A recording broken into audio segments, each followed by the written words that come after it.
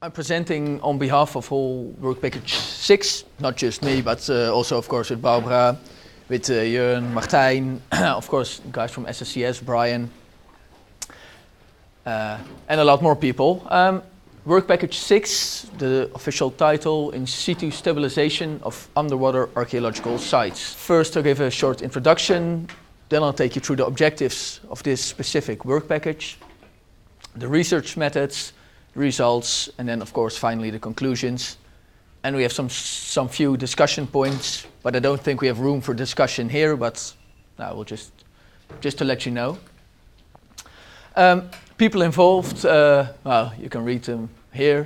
It's, again, this also very quite a big work package. A lot of different people, different institutes. The objectives. There were two main objectives for this work package. The first was to well, you can read it here, to develop uh, artificial seagrass uh, in relation to archaeology. The second uh, objective, also very interesting, was to evaluate the durability of man-made materials used for the protection of underwater archaeological sites. So two main objectives. The first one is testing the artificial seagrass in archaeological sites, and the second one was to test mat materials previously used in protection of archaeological sites. Yeah, of course, the seagrass, you've seen this uh, uh, similar picture from uh, David about the principle of scour. Um, a big problem in archaeology. So the company involved in this work package, Seabed Scour Control Systems, they've been working with artificial seagrass for, I think, over 20 years. And now they're one of the leading companies in the world working with this material. Principle is very easy. You have a mat to which connected are long plastic fronds, basically artificial seagrass. Uh, when water goes through that with sediment, the long fronds slow down the current, thereby stopping scour. But the second effect is since the current has been sl is slowed down, the sediment will fall down, thereby also creating uh, a sort of burial mound. So in potential, ideal for use in archaeology. Um, in previous years, there was some testing between SSCS and the National Museum and the Viking Ship Museum. But now within SASMAP, we got actually the chance to test in different sites and do some proper testing uh, yeah, to see how it works, how it functions. These were the research methods. Of course, the development for an edge-weighted frond mat, the development of a frame to install this mat. We would trial different variations of this mat with different lengths of fronds, densities, sizes of mats. And of course, the new frame that should allow for a very short installation time because you don't want to spend hours on the seabed installing these materials because the time is limited. Um, and of course, especially important for uh, the company SSCS that they can have proven data and survey results so they can market these mats for uh, potential clients. Um, as a actually an extra uh, mat that we wanted to develop was also sandbag weighted mats. I will go over more details later on in the presentation. Um, here you can see an overview of all the mats that we have placed in different countries. It's in Denmark, in Italy, the Netherlands. In the, the next part I will try to tell a little bit more about the different sites that we've been working on. Now here you can see all the fieldwork and monitoring that we have executed.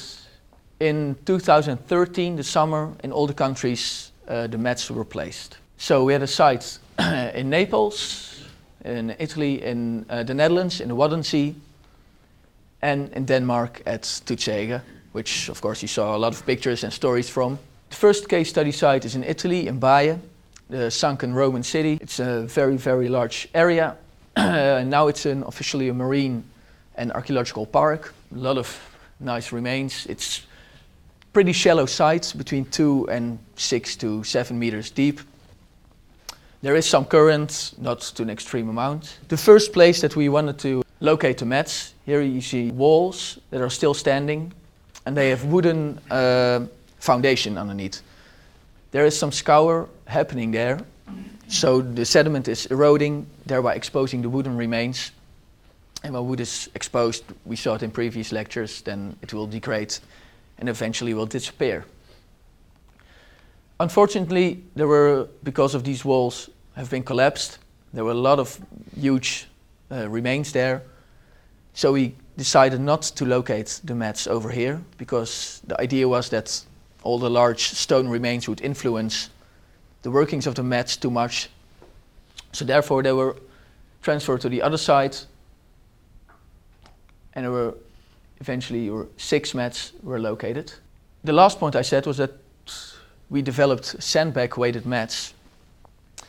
Um, normally the artificial seagrass mats are fastened in the seabed using anchors and they're driven in, in the floor, thereby holding the mats in place. Of course, in an archaeological site, that's not really an option if there are remains underneath. Uh, in this case, there are nice uh, mosaic floors. Now, you don't want to drill an anchor through a mosaic floor. So that's why SSCS developed an edge-weighted system. So around the mat, you have uh, weighted aprons that hold the mat secure in place. The only downside for that system is that it's very heavy. So you need a big crane operated vessel to put those uh, mats in place. Therefore, they developed a special mat for uh, use in Italy, uh, among other places, where the use of sandbags keeps the mat in place. Here you can see image of all the six different mats, and the green lines represent monitoring lines. So on these lines, it was monitored how much the sediment would build up along these uh, mats. On to the next site, Tudse Hage in Denmark. By now all know, very famous prehistoric underwater archaeological site with very, very many beautiful remains. Um, here the idea was to use three normal anchored mats and one edge-weighted mat.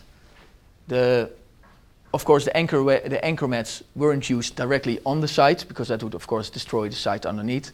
So it was chosen to locate them outside of the archaeological site, but clo close to it. Um, at first, they wanted to use the VibraCore device uh, uh, developed by Akut, a bit adjusted to uh, dri drive the anchors down in seabed, but unfortunately that didn't really work. And of course the machine wasn't developed for doing so, so that's okay that it didn't work. But instead they had to hammer the anchors down, which took a long time and a lot of effort. So they decided, after placing one mat, that for the other mats they were also going to use the edge-weighted mats. So they hired a big crane-operated vessel with, uh, with which they located the mats at different sites.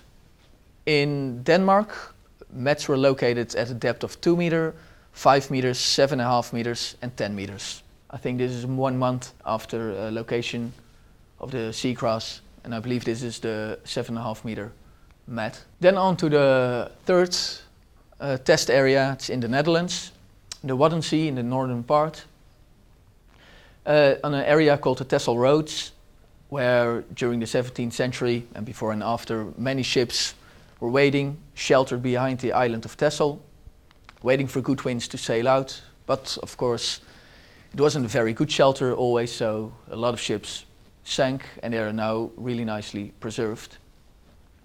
Uh, excavations on different sites and research has been going on since the early 80s. We're working with this site on a shipwreck, the BZN-10, a 17th century merchantman carrying Iberian jars with olive oil, and it was an arm, armed mer merchantman, possibly of northwestern origin. In the 80s, it was discovered and researched, and it was protected with a method developed in those days using scaffolding mesh. Basically, it works a bit the same as the artificial seagrass. Um, the mesh floats in the water column, water with sediment flows in, but because there is no current within the, uh, within the scaffolding mesh, the sediment drops down, thereby covering the, uh, the site with, uh, with sediment. The downside to this, site, uh, to this uh, way of protecting an archaeological site is that along the edges These are hard edges and they were creating scour. So it would be an ideal location to use artificial seagrass next to these scaffolding mesh. Um, here we only used uh, the edge-weighted mats and uh, as you can see we had a big vessel, a big uh, crane. We only had a few downsides with the original frame, not so much with the mats. As you can see, the only, it was fastened in four corners of the frame. Thereby, as you can see, it hangs really low. When you want to position a mat in very poor visibility, as in the, Net the Netherlands, when you're down here, you can't see the top of this. So when you want to position them, it's almost impossible. So therefore, we just a very easy solution, put some extra rope, and by doing so, we managed to put down these mats fairly easy. Also, one other downside with this frame was that it was a little bit too not uh, wide enough. So when a mat was lowered, it still needed to be stretched out, which took a lot of effort for the divers. Here you can see the seagrass. I hope it's a little bit visible. Uh, I think this is after five or six days, and most of the mats already have disappeared underneath the sediment. Because in the Wadden Sea, there's a lot of current, a lot of uh, tidal action, and a lot of sediment being transported. Because of the downsides, downsides of the previous frame, in the summer of 2014, we went back to the site, and SSCS made some uh, changes to the frame so we could test out the, new, the, the newly developed frame with these mats. As you can see, there were extra points at which the mat is fastened, so it hangs perfectly straight. A second improvement has to do by the way the mats are fastened to the frame. As you can see, there are some yellow connection points. These are, you have to insert them here and a metal pin goes through. With the previous frame, in all corners, someone had to hold the yellow rope in place and one person moved a bar so all four corners were secured in one go. With this new way, you just insert a plastic pin and then in the end all corners are secured at one point uh, in one go. So by doing so, one person can secure a mat, where previously you needed five people to secure a mat. So, which helps again with the deployment of these mats. This is a multi-beam image of uh, the, the site. They were laid in 2013. On this site we decided to put the three new mats. Not only the frame was new, but there were also the amount of fronds on the, on the mats. these mats all had the same density of fronds. And this mat, these mats had double density fronds. So in order just to check what the effect is of adding more fronds, does it help uh, against scour, does it help to build up more sediment. Photos underwater. By removing this pin, the bar goes forward, thereby releasing the metal pins and releasing uh, the yellow straps, and then the mat is secured in place. And in the end, you remove the cover, so then all the seagrass is loose in the water column and it can do its work. Uh, tomorrow at the workshop, we have a, uh, I think it's still the old frame, but still you can see all the uh, the workings of the mats and of the seagrass, so then you can actually see how it looks in real life. Okay, so in all different countries, the mats are being placed, and then, uh, of course, we have to monitor the sites. I will explain a little bit. Of course, we did diving inspections, multi-beam, side scan sonar, but of course, being a collaborative project, uh, we decided also to use the 3D sub-bottom profiler and the open water data logger. Um, I'm going to focus a little bit more on the results here from the last two ones. Of course, we saw the results from the Netherlands also briefly by the uh, report. The Unisense data logger uh, underwater in action. Here in the Netherlands testing the sub-bottom profiler. Unfortunately, in the Netherlands we uh, couldn't provide uh, with the RTK uh, positioning system. And as you can see, the weather was quite rough, so it was pretty difficult to go in straight lines. So that's yeah, proved to give a little bit of difficulties. Then also as a part, because we're introducing these plastic mats in the environment, so of course we want to know what the effects of these mats are to the, what the bio biological effects are of these mats. so in all the three countries, the rural biological research was being conducted. Then we go over to, I will go to the results later on. then, of course, task 6.2. Uh, since the 80s, as archaeological sites have been found, they've also been uh, preserved in situ, thereby using sandbags, scaffolding mesh, and all other types of plastics. The, uh, the aim for task 6.2 was to find out how much they have been deteriorating in the past 27, 30 years. Some uh, plastics even have been down. This uh, research was been uh, uh, done by Yvonne Shashoua from the National Museum in Denmark. Uh, she developed a nice uh, protocol for us to take samples on our own sites, and then we sent the samples to her, and she she researched them. Uh, very important, so the travel wouldn't influence any effects it had on the research. She did some visual and uh, light microscopic examination and also some spectrometry. Okay, the results from Italy. Here you can see from this cross section, these are the results from July 2013, and this is September 2013. And you can see, I think it's almost 20 centimeters sediment buildup in a very short period of time. And even in Italy, where there isn't that much current, and we thought there wasn't that much sediment being transported, still these mats provided for quite a lot of sediment buildup. Uh, unfortunately, after a longer period of monitoring, some of the extra sediment that was built up was being lost again. And so Barbara and her team, yeah, they were wondering and questioning what could be the, the cause of this. And then they put the, the sediment buildup, the monitoring dates, next to all significant weather effects, storms. so it turned out that because of storms, because the site is so shallow, that it caused for some of the extra sediment that was built up being lost again. Um, but as we can see also in this picture, in the end, it's building up.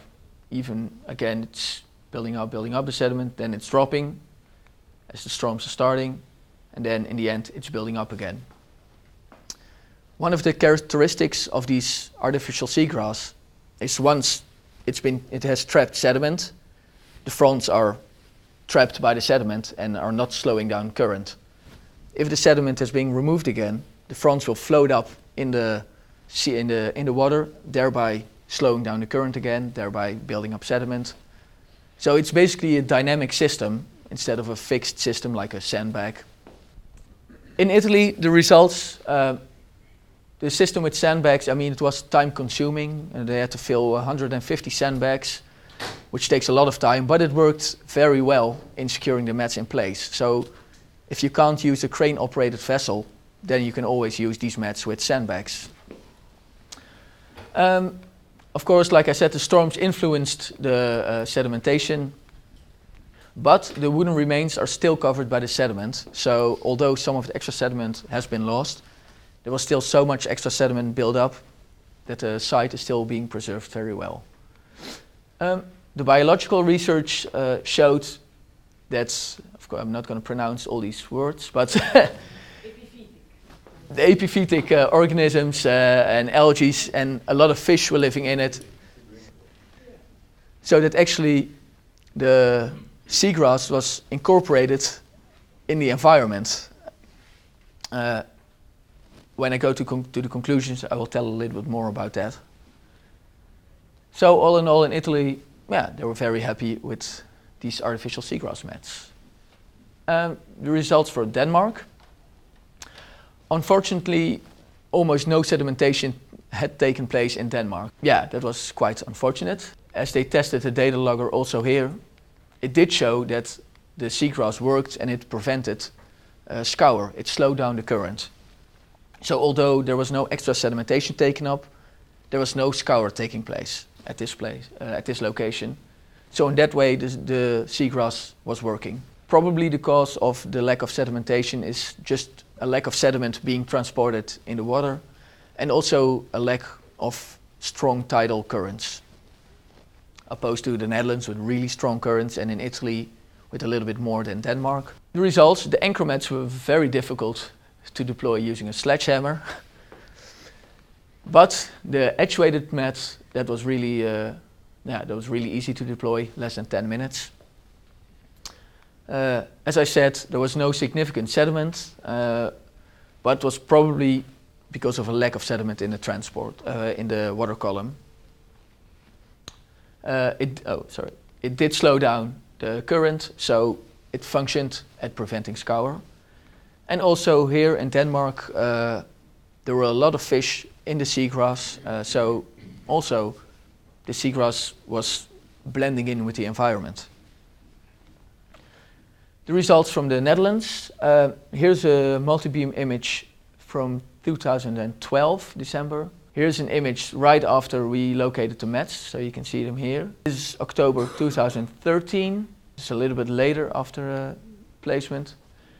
And here we have December 2013. And at first we were a bit scared. We thought, did the mats disappear? Have they washed away? But I don't think it's visible from uh, sitting there, but they are still present. There was just so much sediment taking place that the mats com disappeared completely. And also a, a, nice addition is that not they did not only uh, cause sedimentation on the mats themselves, but also up to two meters on each side of them. So because they slow down the current, the sediment was not only uh, heaping up on the mats, but also on each side of the mat. Um, then we did some monitoring in September 2014. So here we have the picture of 2013, and here we have the picture of 2014 after we placed the new mats. The new mats are pretty uh, clearly visible here, but a surprising effect, as you can see, 2013 the mats have also almost been completely disappeared. Here they are partly uncovered again.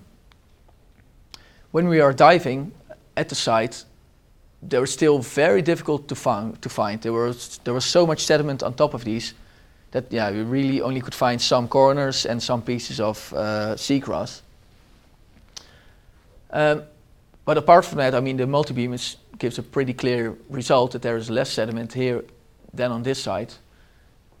so again, we were thinking of what would be the cause of this, and there are some indications that in the Wadden Sea, it's a highly dynamic environment, that there are some, well, as we call them, walking sand dunes, so moving sand dunes, big sand dunes across the seabed. And it could be that there was just one really big sand dune going over the site at the moment of this monitoring, and it was just passing the mats on this side. Um, we keep on monitoring the site uh, at least once a year using multi-beam. So we'll see in the longer run what the effects will be. But uh, up until now, the mats, they do prevent scour and they even build up a lot of sediment and up until two meters on each side. So here they provided a nice and soft edge along the scour edge that we used to have. With the new mats, um, unfortunately we didn't see any difference in sedimentation they just all worked really well. But that could be because there is so much sediment transport, such strong currents that any mat will work in the Netherlands. Um, so maybe a more uh, more monitoring could reveal some different results, or even maybe a more frequent monitoring on an hour basis or day-to-day -day basis instead of once a month. So from the Netherlands, the frame from 2013 needed some minor adjustments. Uh, in 2014, these adjustments made deployment uh, easier, and it took us only eight minutes to deploy each frame. Uh, yeah, like I said, the seagrass slows down the current, causes sedimentation, and not only on the mats, but also on each side. And they are very useful in creating a dynamic barrier between the seabed and the protective and the mount that we want to try to protect. We saw no difference in sedimentation between different mats. Um, yeah, the open water data logger, it did show that the mats uh, slow down the current, in the Netherlands up to 24%. So yeah, it provided extra information and an exact number on how much the mats do work.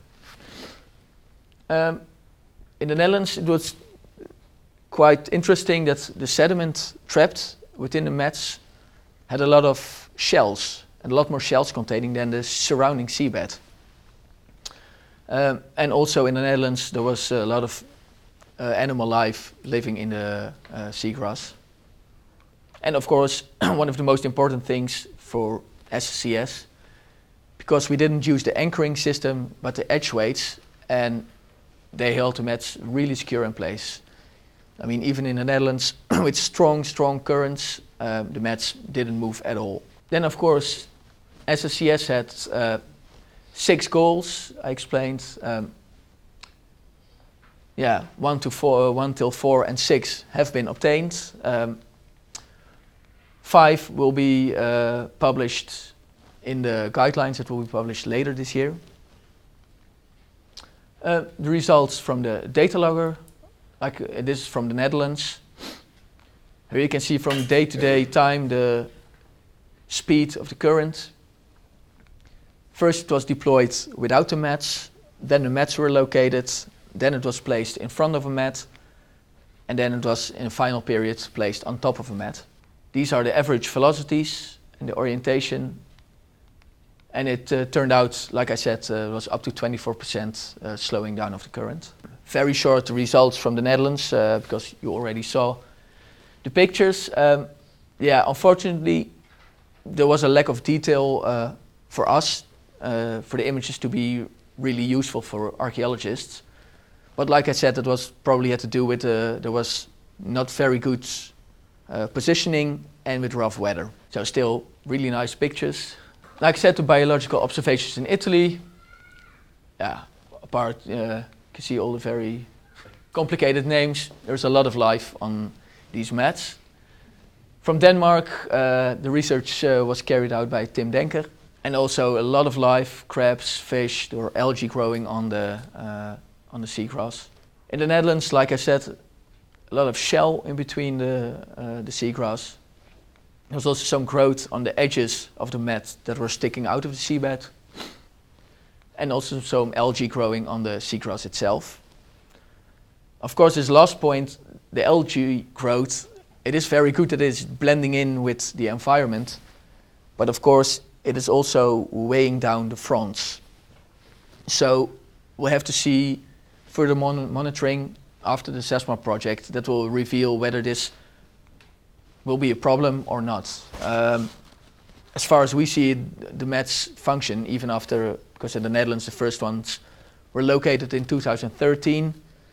The last monitoring revealed that the mats are still functioning perfectly. So, you know, in this year and a half, almost two years, they still function properly. But yeah, future research will have to reveal what these effects are. Then the results from the plastic analysis. Uh, I won't go through all the names and all the and all the different uh, uh, samples that were taken. Important conclusion was that all the plastics that have been removed from the sites showed signs of chemical and physical changes and biofouling. Um, also, there was mechanical damage in almost all the samples, and uh, by embrittlement and abraded surfaces. Uh, most of the mechanical death, most of the embrittlement was caused by biofouling. And based from the results in Tudse Hage, because there you have the different depths of the site, uh, the deeper the underwater plastics were used, the thicker there was a biofilm. Uh, like I just said from the biological research, the presence of biofouling, that's a sign that actually they blend in with the environment. But it can be an unwelcoming effect if you want you know, the material to function. So finally, conclusions of all this work. Um, first, the edge-weighted mats, they were really easy to deploy and stayed secure in place. Also with the sandbag-weighted mats, and although it was a lot of work filling all the sandbags, it still worked. There was no difference in sedimentation between frond lengths or densities. We just saw sedimentation. Um, it could be that shorter fronts may help in an early stage of sedimentation, but yeah, we're not really sure. And like I said, in Denmark there was almost no sedimentation and that was possibly caused by a lack of sediment transport and tidal current. The conclusions from uh, Yvonne from the plastics research, it shows that seagrass, sandbags and netting, that it deg degrades physically and chemically after four years. However, um, and that's also something that we haven't figured out this difference. In the Netherlands, we took out some samples that were down for 27 years and it was still functioning perfectly. Sandbags were still holding sand, scaffolding nets were still holding sand underneath and were still flexible and working. There was no visible degradation. So I will come to that in the discussion. What's the relation with the, the, the chemically uh, degradation and the actual functioning of the material? Uh, the cause of chemical de de degradation is mostly biofouling and oxidation. One really important part is that there's no acidic pollutants formed. So while the plastic is being degraded, there are no acidics going into the environment. The same for this point that none of the plastics res uh, researched form bioplastics. The only item that should not really be used in archaeological sites for longer than two years would be polyethylene barrier tape, but that's hardly being used for a long time anyway. It's only being used in sites to mark a single spot during a research and usually after a few weeks it's been taken out. Because it may form microplastics.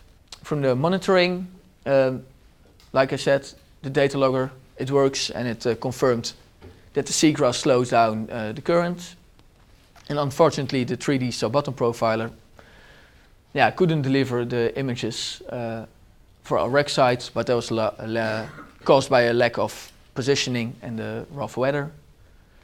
Um, luckily, as proven uh, uh, in Italy and also in the Netherlands, that multi-beam images proved a really uh, stable and secure way of monitoring an archaeological site.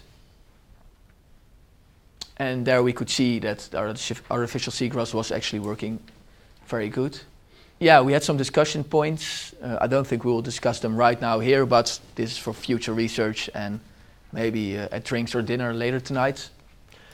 Of course, like I said, uh, the degradation of plastics, yeah, in what way does it affect the performance of the material it was taken from? That's a big question that we have. Of course, the influence of big storms and big natural effects on shallow sites, like in Baia, the storms caused from sediment to leave and in the Netherlands, the sand dunes, you know, what are the effects of those on the preservation? Um, I've also, there's a discussion yeah, on the combining of the fronds and also the use of the fronds uh, in combination with the other protection methods. Um, yeah, we still uh, need to research that a little bit more and how it actually would work. So that was my presentation. Thank you.